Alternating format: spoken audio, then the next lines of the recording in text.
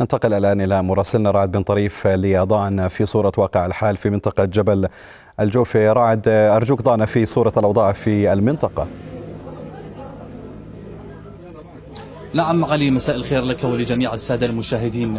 في الحقيقة علي منذ لحظة الإعلان عن انهيار ثلاثة منازل في منطقة الجوفة ونحن نتابع تطورات وتداعيات ما ما أدى إلى سقوط البنايات الثلاث. نحن الآن متواجدين أمام المنازل التي أنهارت في منطقة الجوفة ومعنا هنا العميد أيمن مدانات مدير دفاع مدني شرق عمان. سنتحدث معه بالتفصيل حول الحادثة التي جرت هنا. مساء الخير عميد. مساء الخير حبيبي الله يخليك. بعد سقوط المنازل الثلاث باعتقادك هل زال الخطر أم ما زال الخطر موجود؟ سيدي أول شيء الله يعطيك العافية، الصحيح أول شيء نحمد الله على كل شيء الصحيح إنه لم يكن هنالك أي إصابات، وهذا الشيء بيعود الصحيح لسرعة وصول طواقم الدفاع المدني للموقع وإخلاء الشقق كاملة بالإضافة إلى اخلاء الشقق المجاورة لهذه المبنى.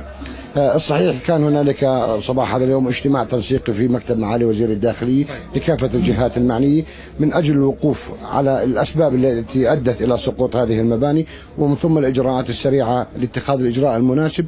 وبعتقد أنه إن شاء الله غدا صباحا سيتم المباشرة بالعمل حسب التوصيات اللي صدرت عن هذا الاجتماع. إلا أنه ننوه أنه هنالك الصحيح يعني لا زال الخطر قائم. لا زال الخطر قائم ويجب الإسراع بعملية إزالة الانقاذ.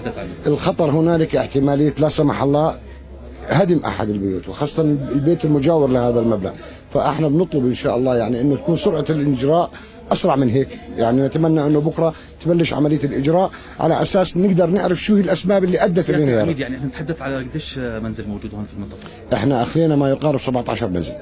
17 منزل ما يقارب حوالي 380 المنازل المهدده بالانهيار هني إحنا لما نقول 17 لما نقول 17 فمعناته 17 هذول مهددة للخطر. مهدد للخطر في حال لا سمح الله. كان هنالك انهدام أو انهيار لأحد الأبنية الموجودة أمامنا الآن. إلا أنه إن شاء الله يعني أتمنى أنه إن شاء الله ما يكونش هنالك أي انهيار أو هدم لاحد الابنيه والإجراء أنه يتم بكرة أو غدا صباحا يعني إن شاء الله من قبل الجهات المعنية.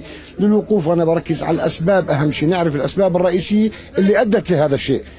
اللي ادت لهذا الشيء حتى يتم معالجته الصحيح. هناك تساؤلات عديدة من المواطنين حول آلية هدم ما تبقى من المنازل التي تشكل خطورة على باقي المنازل المجاورة، باعتقادك وبتقديرك كيف سيتم التعامل مع هذه المنازل؟ سيدي صحيح امبارح حضر معالي وزير الأشغال العامة مشكورا وبرفقتي مجموعة كبيرة من المهندسين أصحاب الاختصاص وحضروا للموقع وهذا صحيح يعني عملوا دراسه شامله للموقع من أجل الوقوف حكيت لك أنا على الأسباب اللي أدت لانهيار هذه المباني.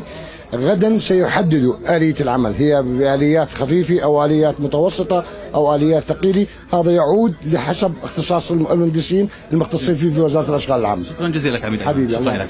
زميل علي هنا بجانبي أيضا أحد سكان المنطقة وهو أحد أصحاب المنازل التي انهارت. سنتحدث معه بالتفصيل حول الحادثة التي جرت هنا.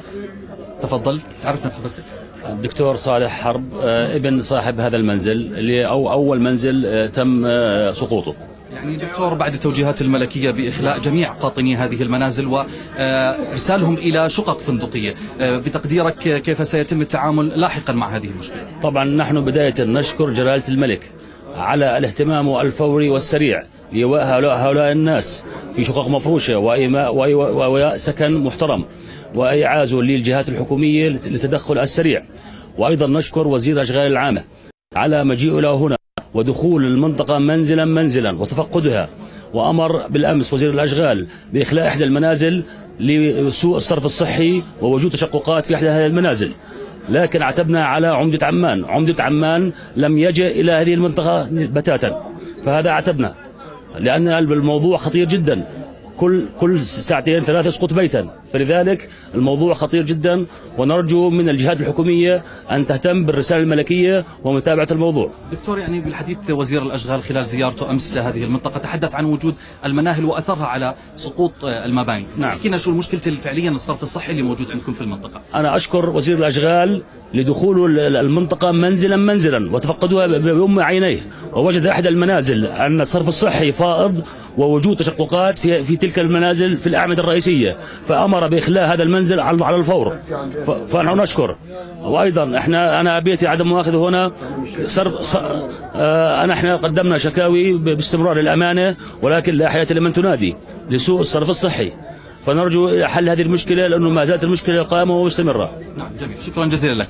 آه نعم علي يعني هذه صورة عامة ربما الأوضاع هنا في منطقة الجوفة بعد سقوط ثلاثة منازل والتحذير من انهيار ما تبقى من المنازل المجاورة. بالأمس كما ذكرنا كان هنا وزير الأشغال العامة والإسكان المهندس سامي هلسة أكد بأن هناك سبب رئيس لمياه الصرف الصحي والحفر الامتصاصية التي آه تم إنشاؤها قديما تحت هذه المنازل والتي ساهمت في التأثير على أساسات هذه المنازل التي بنيت كما قيل في ستينيات وسبعينيات القرن الماضي. لك علي.